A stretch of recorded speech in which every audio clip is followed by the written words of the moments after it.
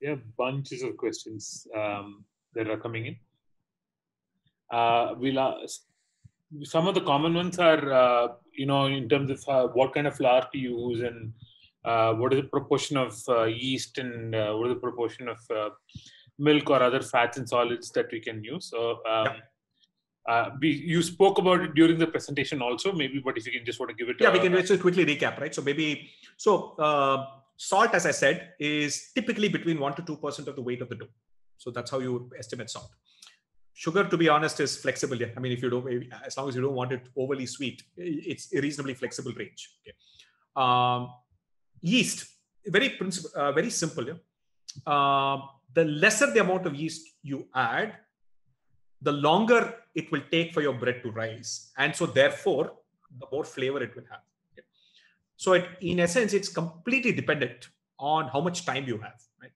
So, uh, if you are on a two to three hour schedule, then use a lot of yeast. Use a tablespoon or one or two teaspoons of yeast. It'll rise really fast, and you can you put it in the oven and you're done. If you use half a teaspoon or a quarter teaspoon, then the rise will take longer, but you'll get much much more. In fact, if you're putting stuff in the fridge, add a really really just a quarter teaspoon of yeast. Uh, so so that's how you think about yeast, right? So if you want more flavor, uh, but you have time on your hand, please use the tiniest amount of yeast you can. Remember it's a biological thing. It will be fruitful and multiply. So you don't need to worry about it. Fantastic. Uh, so on the question of yeast um, we have a couple of questions on um, you know uh, difference between microbe which is the yeast and the baking soda and how uh, what amount of baking soda uh, do we use as opposed to how, what amount of yeast and things like that so uh, Rachna and Kunal Vidya have similar questions. Yes. So generally, baking soda is usually not more than a, a half half a teaspoon to one teaspoon, depending on the amount of bread you're talking about. A typical loaf of bread, not more than half a teaspoon or so.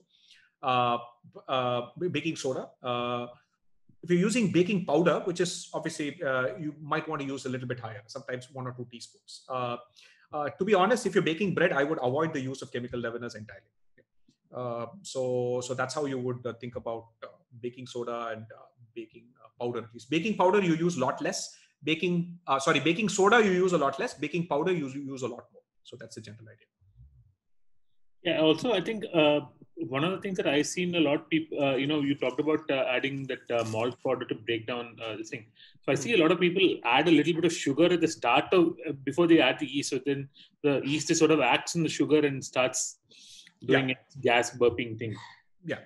So that essentially is a essentially largely just a, a, safety because baking is such a you know no undo buttons kind of initiate uh, kind of endeavor. Um, you want to make sure that the yeast is alive. Uh, your yeast is not expired, right?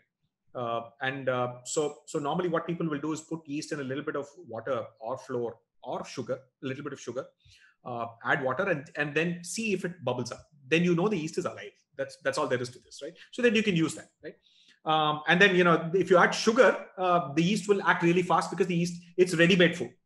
And if you you can do this with flour as well. That's what a sourdough starter is. But except that uh, now the yeast has to first break down the starch into sugars and then eat the sugar. So it's a lot more work, right? It takes 10, 15 minutes.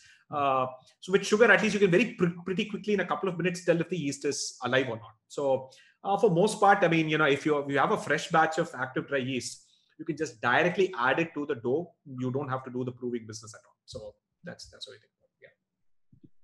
Yeah. Uh, Kunal is asking, uh, is it is it possible to add MSG in place of salt for baking? Um, well, yes. Um, see, MSG is about one third as salty as salt. Okay, only one third as salty as salt. Um, so so to get the to get the enough salt flavor in it. So you need to add fair amount of MSG to get the salt part. The umami part is not as important. In, in fact, if you're if you're going to add like uh, if you add a say a teaspoon of salt uh, in so for example, if you're baking a bread, right? In my experience, uh, general rule. So sometimes it's two teaspoons of salt that works out to be uh, about the uh, kind of amount of salt you need in a large loaf of bread two teaspoons of MSG will blow you away. Uh, it'll just taste unnaturally uh, umami soup, and it'll it'll taste fake. So you might want to avoid that. Right? Um, I've never really experimented with it, but uh, so in the sense that see, uh, umami as a flavor works in things that are very lightly spiced and flavored otherwise, where the umami really just amplifies the subtle flavors a lot more. Um, I think bread by itself has such a tremendously rich and complex flavor uh, that uh, I don't see how umami might really amplify that. Of course, you know, by all means, try a little bit, but again, uh, uh MSG never more than a quarter teaspoon. Right? So you might you might anyway then need to add salt in any case. I think it might taste quite nice on a focaccia or something like that. So you know, just add a little bit of uh, yeah um, MSG. True. True. Although, but you know, so if you're making like tomato type of focaccia, I think there's enough glutamates in the tomatoes. On the tomato so, yeah. yeah. Yes. Yeah. Fantastic. Okay. And and the Parmesan cheese. Actually, Parmesan cheese is a much much higher source of glutamates than and tomatoes. Right. So yeah. Yeah. Fantastic. Uh, couple of questions on uh, you know what is the amount of vital uh, wheat gluten that should be added uh, versus uh, can use rava which you've sort of answered again but i think it may be just a little yeah. refresher uh, yeah. and so, can we add agar powder instead of gelatin in the bread so these are sort of similar questions Okay, so not sure of agar powder, but we'll we'll we'll get to that. Um, so vital wheat gluten, there is actually an, there are online calculators. So rather than just me try to guess, uh, so you can actually uh, search for vital wheat gluten calculator on Google. Uh, it, it, will give you a sense of how many grams of flour uh, and how, what is the protein content in your flour currently, and what is your target protein content, and then it will tell you how many grams of vital wheat gluten you need to add for what 100 grams of flour and so on. So there is a calculator available. So just Google for it. It will tell you how much you need to add. But I mean, yeah. So for a cup, a teaspoon is uh, is is a good place to start. If you don't want to do all of that math, I think it's a good place to start and then see if it improves. It'll make a big difference. All right, fantastic. Uh, so couple of questions on sodo uh, or soda or sorda or however uh, sourdough yeah. yeah sourdough i'm not pronouncing it properly um, so one question is uh, uh on youtube we have um, uh, they've tried using old dosa batter as starter uh, was it was not that great so do you want to talk about that um, yeah. and also here back on um, I think yeah i think how to uh, can you explain how to get uh, the sourdough starter at home? How to make sourdough, hmm. sourdough starter at yeah. home again? Right. So here's how you. Um, so let's start with uh, sourdough dosa. So just because it is, uh, uh, they are both lactobacilli and yeast, they are nothing alike. So the the mixture and the the, the, uh, so there's so uh, so there's this white paper that basically talks about 13 different kinds of uh, bacteria and several kinds of yeast um, that that are common in a dosa batter or an idli batter, right? Uh, and your it's an entirely different set of uh, lactobacilli and uh, different kinds of yeast that operate in the context of bread. Okay? Um, that also uh, the dosa batter is a lot more lactobacilli heavy than and very little yeast. Okay? So your dosa batter does not get very alcoholic at all. Your your sourdough uh, doughs get pretty alcoholic of course, you know, all the alcohol for those of you who are teetotalers, all that alcohol gets burnt off in the uh, in the oven. So don't worry about it. So you're not you're not eating any alcohol.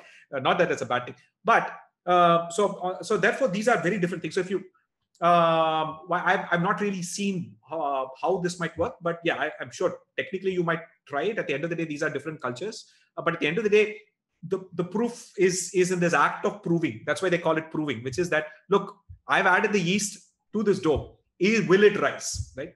That's the proof right? If it doesn't rise then none of this is you know useful right? Uh, and and secondly while it is rising is it adding that right kind of flavor right? So dosa batter is actually significantly sourer than sourdough batter okay? and if your sourdough bread is too sour uh, it's not nice either right? So it's it's a question of uh, figuring that out. So on the on the notion of how you actually create a sourdough starter it's actually quite simple uh, so you set a calendar, you start, uh, you take a glass jar, a mason jar, uh, and then you essentially start with 50 grams of, uh, use some kind of whole wheat flour. Don't use the refined bleached flour because uh, the atta kind of flours tend to have more bacteria and yeast in them, at least for this purpose. You'll still use maida for actually making the bread, but for the starter culture, use atta, right? 50 grams of atta, 50 grams of water. It's equal, 100% hydration just mix it well and just let it sit in your counter every 24 hours, discard half of whatever is there and add uh, your 50 grams of, uh, of, of flour and 50 grams of water again, right? So you, every day you keep discarding half and add 50 grams. So that's the basic idea. You'll ultimately end up with like some 75 grams of, uh, of a starter, right? Now, oh, sorry, um, yeah, uh, 150 grams of starter, right? So, so the whole idea here is that what you're actually trying to do is on day one, um, it's going to be free for all, right? There's literally millions of varieties of bacteria and yeast that are around, right? Each of them is going to want to eat this essentially free food, right? Uh, and so what will happen is that as days pass, some of the lactobacteria will start producing enough lactic acid to the point where some of the fungus and some of the other bacteria are like, okay, this is getting too hostile for me. So I'm, you know, I'm out of here, right? So those will die. So, and once that happens, then the varieties of yeast that can tolerate high enough uh, acidic conditions will then join hands with this and say, okay, now this is, uh, we will form a cartel to keep everyone else up, right? So that takes anywhere between four to seven days, right? Uh, and the way you test it is basically that every time you feed it, in a few hours, it should rise and then start to fall right? It needs to double or triple, right? If it's not rising enough, then your starter is not strong enough.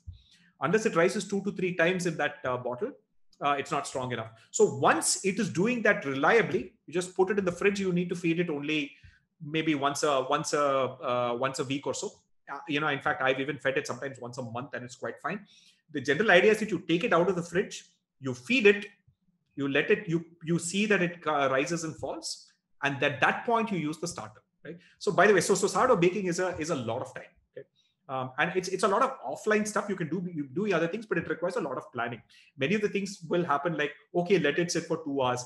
Please come back after eight hours. Please let it sit in the fridge overnight. So it's a, it's a very long process. Uh, so it needs a lot of patience. But the final flavor of what it whatever it is you bake I mean, there is just nothing like it. Uh, the the level and the complexity, the depth of flavor that you get in a sourdough, good sourdough loaf, is not something you'll ever get in a two to three hour instant uh, uh, focaccia, instant uh, kind of bread, which which will still be delicious, but nothing like that. But yeah, but it's a, it's a labor of love, if you will. Yeah. Okay. Uh, so over on YouTube, uh, we have uh, someone asking my um, pizza pizza is a bit too yeasty sometimes. What am I doing wrong? Uh, and we have similar questions of what happens when you add a lot of yeast and what is the difference of amount of flour if you use wheat instead of maida in the recipes you've uh, given out? As I said, so I think you know it's very common in India for people to have this very maida is a villain kind of attitude, which is which is I think silly. I, I, unless you're eating maida three times a day, um, there's it's not much of an issue. Actually, if you're eating atta three times a day, uh, that's not really great either uh, from a purely a carbohydrate consumption standpoint, right? You're right. I mean, if you are someone who consumes a lot of carbs, it is better you consume more of atta and less of maida. But to say I will not touch anything that has even the tiniest amount of maida, I think is is, is just being uh, uh, ridiculous for most part. Right? If you're into baking, I think you should just ignore atta for most part. Uh, I think, uh, uh, as I said, you could use 30% uh, of atta and then 70% of maida. But anything more, you're going to get really, really disappointing bread for most part. and what was the other one? How much yeast to add or is that can can we get to a point where there's too much yeast yes yes. So so you no too much yeast uh, so in general as i said quarter teaspoon is probably a good starting point uh, so it'll take a lot more time. So the more you add but beyond a teaspoon or two uh, you're going to end up with very fast rise and it'll just keep continue to keep rising and uh, it'll get very uneven uh, for most part. Uh, for it to taste yeasty is a situation where you've actually let it ferment for much longer time so that happens when the yeast literally is starting to run out of enough sugars uh, in your food, and then you're the only thing you're going to be tasting is the yeast okay, in your bread. So then at that which point, so incidentally, by the way, uh, dead yeast uh, is is uh, is packaged as something called hydrolyzed yeast. Okay, uh, it's it's a it's a cheat way for for food companies to say MSG without saying MSG. So uh, our bodies have two kgs of glutamates, by the way. So that's one of the amino acids. So if you're a 70 kg person, you have two kgs of glutamates. Okay? So that one gram of that MSG is not going to hurt you. Yeast is also a biological organism. Also has generates a lot of glutamates. It's also made up of glutamate. So uh, hydrolyzed yeast yeast extract, uh, which which by the way used as uh, Marmite and Vegemite in you know Australia and England and so on. So that's also made for that. So for it to taste yeasty, you needed to have over fermented it for most part. So that's how you get that. Uh, see with pizza, the the often the problem is that in general of all these things, right? Um, pizza is actually the hardest to make at home because unlike other things where which operate very nicely between the 200 to 230 celsius temperature and a half an hour 15 to half an hour bake time um, you can't bake a pizza for half an hour it'll just become bone dry uh, and the vegetables and all the rest of the stuff will uh, the, the, string, the cheese will become stringy and over chewy and the vegetables will burn right uh, but a good pizza is baked for a very short amount of time at a very high temperature so that's why it's really thin. That's why you can't really, it's very hard to do pizza really well in a home oven. Unless, I mean, there are some tricks. You can get a baking stone, which is, uh, which you can preheat uh, so that uh, the, the bottom of the surface is really much hotter than 200 Celsius. So the bread really bakes very quickly and so on, but it's, it's a lot of work, uh, to be honest, right? Or you can preheat the base on a tawa and then bake the, the pizza and all that, but it's never going to be like a typical Neapolitan pizza that you get out of a wood-fired oven, right? Likewise, the same thing with naan uh, or anything else, which you you can, you can never get a tandoori taste in a regular convection oven because the temperatures are simply not high enough, right? So with pizza, what happens is that there are too many variables at play. One, it needs to be thin, uh, but at the same time, the the pizza dough has to be really fermented for as long as possible, right? In fact, the best tasting pizza often requires 48 hours of fermentation right and so therefore if you do all of that and then if you undercook it in a home oven it's going to taste really yeasty uh, and not crisp and well cooked enough, right? Uh, and so all of these could be problems why your pizza might taste yeasty. In fact, there's a video by Adam Ragusea on YouTube where he basically just uh, throws water, flour, salt, uh, yeast, no mixing, nothing, just throws it into like 10 boxes, uh, stacks it in the refrigerator, and he keeps taking one after every 48 hours to make pizza, right? And he was able to make pizza with things that have been rising in the fridge for like two weeks. And he says that you know it, it, it, it's pretty really really tasty as well right? So uh, but you need a really hot oven. So that's the that's the real thing fantastic uh, we have two three questions with uh, to talk about semolina slash rava uh, you again spoke a little bit about that but if you just want to answer the uh, yeah. on uh, so, why so the role is, rava or, so essentially so as i said uh, role of rava is not to add protein huh? so that's you need vital wheat gluten for that okay? Um, rava, which incidentally is also made from wheat for most part, just a different kind of wheat, uh, slightly lower protein kind of wheat actually. Uh, I think durum versus emmer or some such thing. I forget the exact name. So, so rava, uh, essentially what it does is that it is it's very low on moisture. Uh, to those grains, right? So when you add the rava, uh, unlike wheat flour, which you can add water and hydrate, rava takes a lot of time to hydrate. Uh, so when you add it to a dough, it still remains uh, in its grainy form, right? And then when you fry or bake or something like that, at that point the temperature is high enough for the water vapor in the water inside the that rava granule to uh, become water vapor, right? So in addition to the carbon dioxide, you're basically just adding another backup for you know airing out, right? So that's one, right? So especially when you're deep frying a puri and all that, you know it's up you you guarantee to get puffing up if you add a tiny bit of uh, rava into your healthier is a question is rava healthier than boss i mean you know you're, you're, you're first of all you're starting with maida right? You're adding sugar. Uh, you know this is you know at the end of the day i guess you know the general principle is that if you everything is unhealthy if you eat too much of it. Um, so in small amounts if you like someone who enjoys food uh, you know if you're on a if you're on a keto paleo type diet then baking is not for you. So in any case uh, so i in in my general philosophy is that uh, trying to make baking healthy is a is a pointless exercise. Just eat moderate amounts uh, rather than you know don't don't eat an entire pizza eat a slice right? Uh, or you know don't entire entire focaccia just eat a slice and so on. Uh, but uh, trying to make baking healthier. In my personal experience you know there, there may be people who are healthy bakers and all that, but it's it's a pointless exercise. If you're using maida, you're using 500 grams of maida to bake a loaf of bread, wondering about whether that one tablespoon of rava is going to uh, impact health or not is is, is entirely pointless. Similar question, and then we'll go into a couple of other uh, questions. Um, how's commercial whole wheat bread made? when you say it's not more than 30% atta. Yeah, it is. It is made. It is made with 30% atta and 70% maida. That's just exactly how it's made, right? Um, on the other hand, so you you can. So in fact, uh, there are, uh, as I said, in um, if you in the West, actually whole wheat breads in the West are better uh, because they actually use whole wheat flour, which has not undergone the chakki milling. So it still has decent gluten formation. So you could actually use uh, make 100% whole wheat flour. Uh, it'll be like really dark brown and uh, and still airy and not as dense. Uh, but that's very hard to do in India because that kind of whole wheat flour is typically not available. And if you just have atta and maida, this is what you're going to get here. So whole wheat flour, whole wheat bread in the West is genuinely whole wheat bread. Uh, whole wheat bread in India is, is, is 30% whole wheat bread. Yeah. Okay. Uh, one last question about chapati. Uh, someone uh, on YouTube, we have a question from Vasundhara saying, um, when we store chapati uh, dough in the fridge after a day or two, mysterious dark dots develop. What are these? Are these harmful? Uh, is it still safe con- to consume the dough?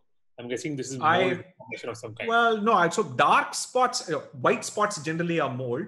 Um, I mean, so darker spots again this is uh, at the risk of uh, giving dangerous advice.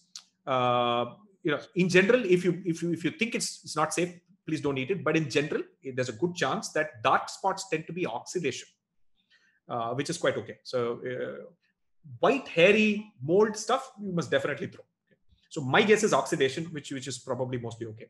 Uh, and plus, the dough's going to lose water remember your fridge is actually a dehumidifier. Huh? So remember that when you actually put dough in a fridge, it is always good to add more water to the dough because it's going to lose a fair amount of water in the fridge, no matter how airtight you keep it. Okay? Because the fridge is a very, very low moisture environment. It's a dehumidifier, right? Uh, so you should uh, uh, always add more water. Uh, that's why the, your chapati dough gets really hard uh, when you keep it in the in, in the fridge because it will lose water. Okay. A few questions on uh, the uh, cooking process and utensils and things like that. Uh, can we use cast? Abhinay asks, can we use cast iron utensils in the convection mode in the combi oven? Does it depend from brand to brand? Uh, they've got uh, differing opinions, so they're confused a little bit. If you can clarify. Yeah, yeah. Uh, absolutely, absolutely. Cast iron is actually perfect. See, cast iron is a is a uh, is one of those materials where once it gets hot, it stays hot for a long time, uh, and so uh, you you uh, given that air is such a poor conductor of heat, um, using cast iron in the oven is actually a perfect uh, thing, right? So that said, cast iron maintenance issues are there. You every time you do this, you have to you know sit and season it and do all of that stuff. Uh, so if you can afford it, try and get an enameled cast iron where the maintenance is very very low, right? So enameled is essentially a sort of like a ceramic or a glass layer that's on top of the cast iron so that makes it largely non-stick and it makes it uh, easier to clean and all that, while it gives you all the advantages of cast iron. So cast iron is actually perfect for convection ovens. In fact, one way to get decent pizza is to really heat a cast iron really, really hot uh, on the tawa or anywhere else, and then make the pizza in the oven. That way, you'll actually get a half decent pizza, pan pizza. My father used to do that because uh, he'd take an ellipse and just uh, you know, upturn it over a open flame and just yep. heat it up and then stick. Oh yes. A bit of naan, uh, you know, the the naan thing on it. Absolutely. And Absolutely. then it just it, it's pretty close to it's and the yeah. air is circulating inside the dome, so it's just yes. Absolutely, it, it's a miniature oven. Actually, it's a miniature, yeah. almost like a tandoor oven. See, an open flame gets pretty hot, right? Uh, upwards, you're close to thousand Celsius, right? Um, and so it's a good way to really get uh, uh, get that kind of charring and that brown coloring that you need on a naan, which otherwise you won't get on a tawa. Sometimes people also use uh, stainless steel uh, because it's just lighter and easier to flip. cast iron is pretty hard to flip unless you have really strong hands. Uh, so um, so you know you add a little bit of water uh, to the dough, put it on that stainless steel. Um, and then you cook one side and then you just flip the whole thing because you've added water it's going to stick and then you cook it directly over the flame and it's a great way of uh, making naans on the on the tawa directly. Fantastic. Uh, similar question on um, on the baking pan or uh, mold uh, is alloy steel or cast iron or something else, which is better. Normally, baking bakeware is almost always uh, mostly aluminium, right? Um, I think it's just it's typically cheaper uh, and it's a great conductor of heat, right? Um, and so uh, they usually don't make the typical bakeware kind of trays and all of that in cast iron because it's just too much high maintenance. Uh, aluminum is very, very low maintenance that way. Um, so the other uh, really great material, although it's really, really expensive, is really expensive glass, right? So there are like trays, like lasagna trays and all of that that you can, uh, that are made entirely out of glass. Okay. Uh, Pyrex is the kind of brand and the material, but it's very expensive. Uh, but yeah, in general, I think aluminium is for most part fine. Don't uh, don't sweat. Uh, uh, I think the marginal improvement that you're going to get from getting a fancy bake tray is very very small. Uh, most bang for the buck is you're going to get is whether you use bread flour versus maida and how long you let it ferment. These are the oh, and the amount of water you add. This is 95% of the effect. Rest is 5%. Okay, so you don't you know ignore all of that. Uh, I don't know if this is uh, something that we want to talk about here, but yeah, uh, is why is making croissants or croissants or however you want to pronounce it? The French people are going to get angry now. Uh, is uh, or the Belgian people? I think it's the Dutch people who brought it first to France. Anyway, um, ah. it's very difficult in time. Why is it oh, yes. difficult? Yeah. In fact, one category of good question because you know one category of baked goods we did not discuss here are those pastry kind of things, and I, I mean savory pastries. I did uh, like pies and pastries. Okay. Um, I didn't want to cover it because I didn't think it was very relevant in the largely in the Indian context. But you know, just so so the general philosophy here is that so we for, for so far spoke about you have flour, you have water, right? That's your basic thing. Then you add a little bit of fat and other things to make different kinds of breads, right? Uh, if you want to make pastry, it's largely flour and fat and very little water. So, for example, when you're actually making pasta, it's mostly just uh, flour and eggs. Okay. Right? If you're making pastry, it's mostly flour, eggs, and oil or, or some kind of fat, butter, and so on, and a tiny bit of water. Okay. So when you actually make knead the dough only with fats, gluten development is going to be little or nothing. What you actually get is an ultra flaky thing that's ideal for making biscuits, ideal for making uh, like uh, like your uh, puff pastry kind of thing. Now, how do you get that puff pastry or a you know in its most ultimate form the croissant uh, effect right? Of really layered this thing right? So the general idea is that you make the dough with a lot of fat already you roll it out okay? Then you apply a layer of butter. You literally take slices of butter put it on top and then you put and you fold it over. And then you roll it again. And then you add more butter and then you roll it. So you keep rolling it till you get like 16 layers of butter. Now one of the reasons it's nearly impossible to do this at home in India, or at least in South India, is that you need to work with butter that still remains solid.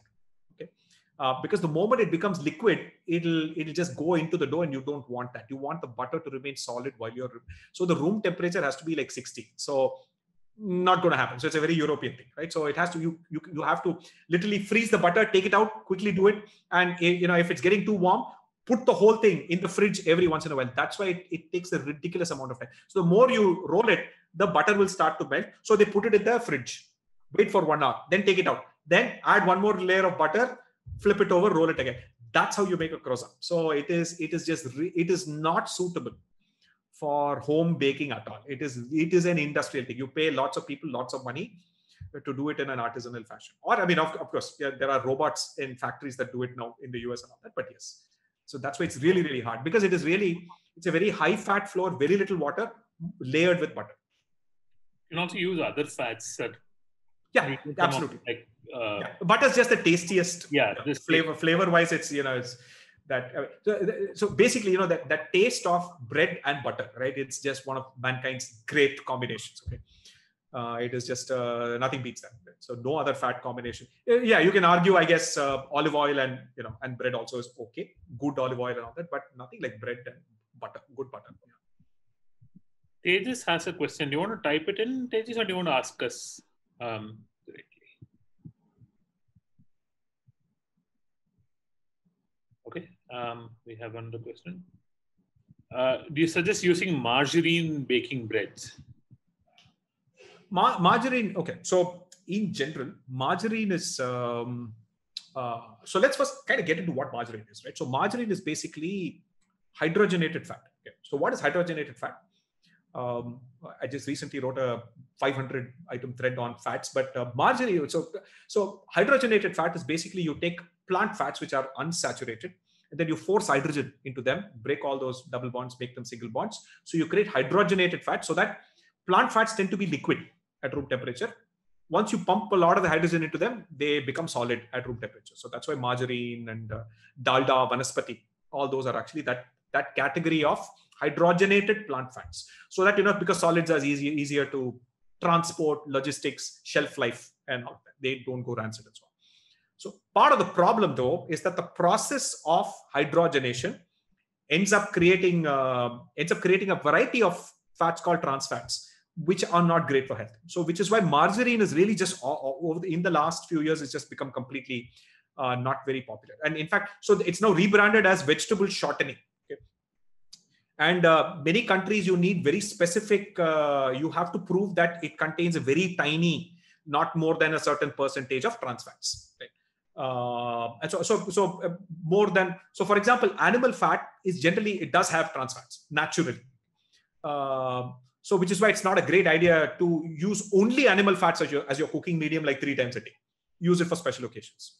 So, likewise, uh, I think, you know, so advantage of using shortening is exactly the kind of the croissant kind of uh, situations where you need something that stays solid at room temperature and doesn't melt right? So butter tends to melt around our you know at room temperature right? So cocoa butter and regular butter the reason we love them so much is that they melt close to our body temperature. So you get a melt in the mouth feeling. It literally melts in your mouth right? Uh, margarine and others are slightly higher. They melt at a higher temperature. So you, it's easier to do biscuits and uh, and so it's called it's called shortening or vegetable shortening if you will right? So if you are using that category of thing obviously please check. I don't know if uh, the uh, the Indian regulations related to trans fats and all that is strict enough. Whether there's any kind of verification, it's you know whether it's you know self verification and all that. But you know, please be careful. So, but yeah, so if you're making biscuits and all that, you'll have to. It's better to use that that kind of stuff. Yes. A couple of questions. Um, sure. I, I don't know if you've answered. I don't think you've answered this specifically, but how is nutritional yeast different from these kinds of other yeast that we use? I, is there a difference? I don't really know. My guess is nutritional yeast is probably just dead yeast extract, right?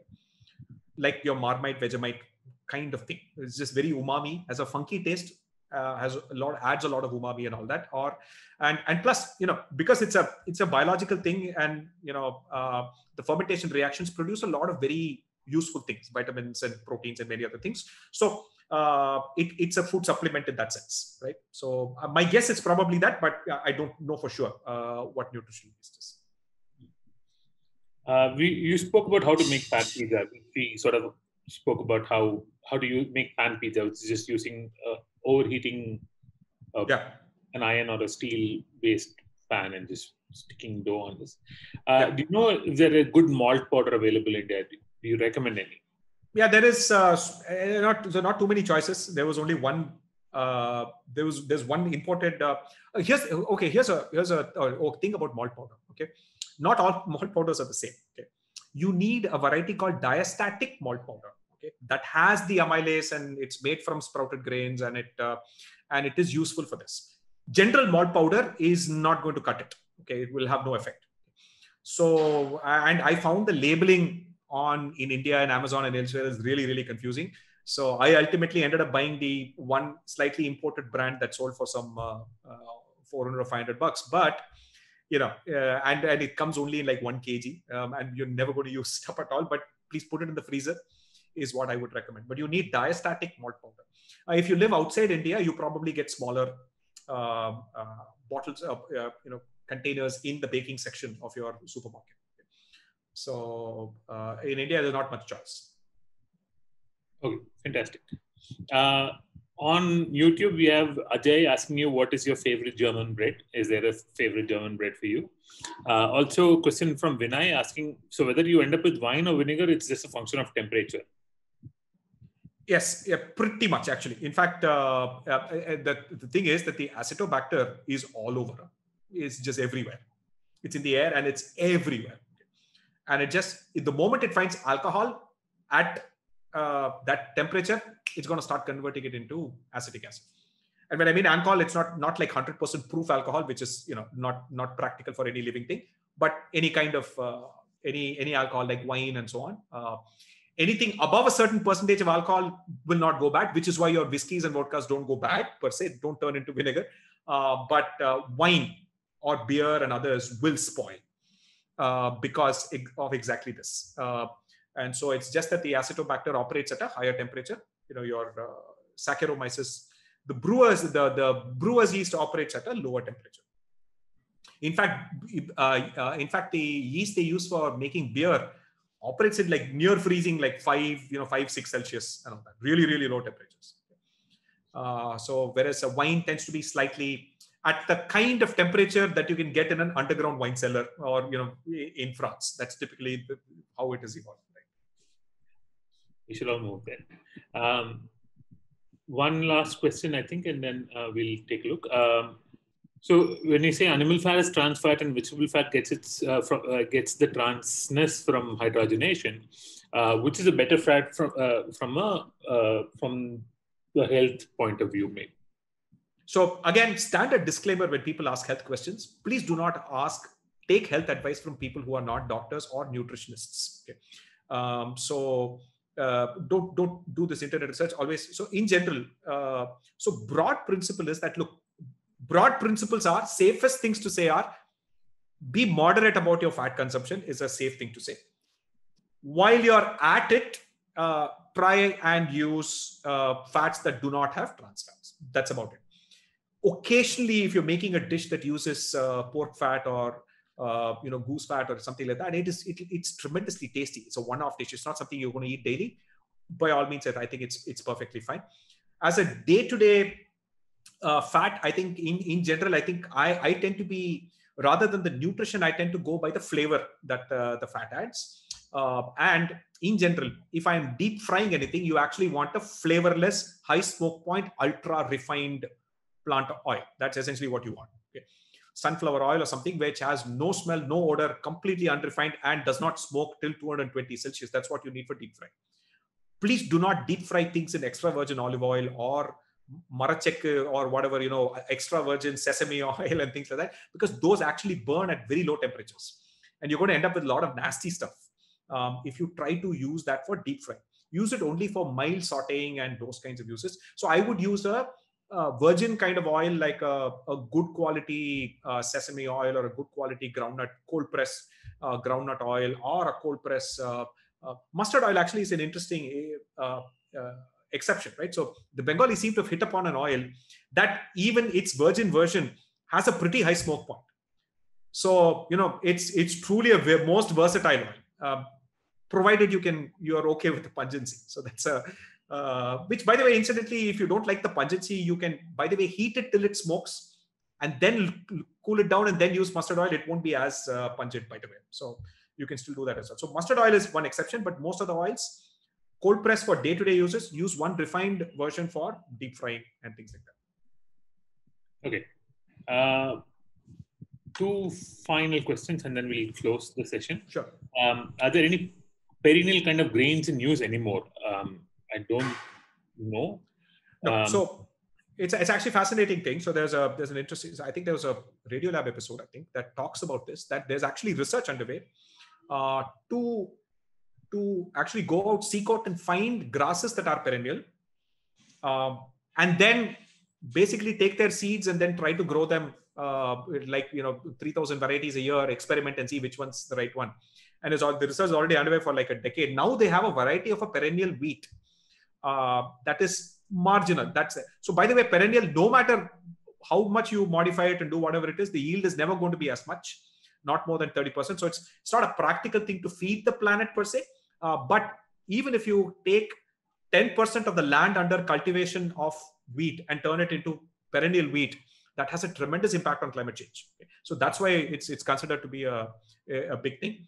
Um, and apparently, the taste-wise and all that, it's it's it's pretty much the same. Uh, so people were not able to tell the difference between bread baked from perennial wheat versus annual uh, wheat and so on. So again, this is a sorry.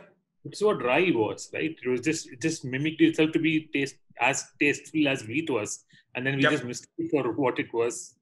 Yeah, yeah. yeah. I mean, so that anyway, plants will do those kinds of tricks anyway to to fool. I mean, evolution tends to play tricks in such a way that you know, the, plants like rice and wheat, their evolutionary strategy has essentially got humans addicted to them, right? So most most of the uh, planet is under cultivation of corn, rice, and wheat, uh, and, and now soybeans as well, right? So in that sense, yes. So, but I think from a sustainability standpoint, uh, perennial plants would essentially mean that you would need to till this, you won't need to till the soil, um, and so that's the that's the promise. So it'll still be artisanal and expensive, but even if you can get the hipsters to eat the perennial wheat, um, it, it'll still make a big difference.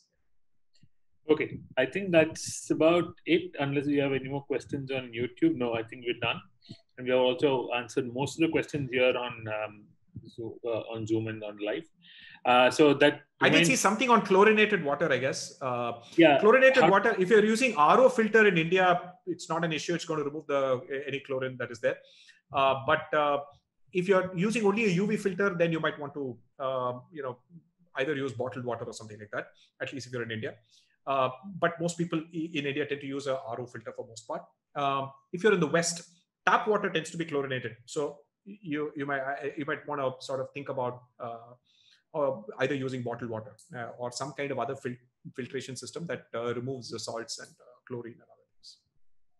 Is it will it help to warm it up a little bit and then add the yeast? Not the chlorine. Yeah. so uh, warming is not going to change hardness or chlorine levels. So yeah, because you know, see, they, they now use a they now use something called chloramine, which kind of you know uh, really hardy and it kind of stays in the water uh, not not as uh, uh, shall we say volatile. so so therefore, yeah.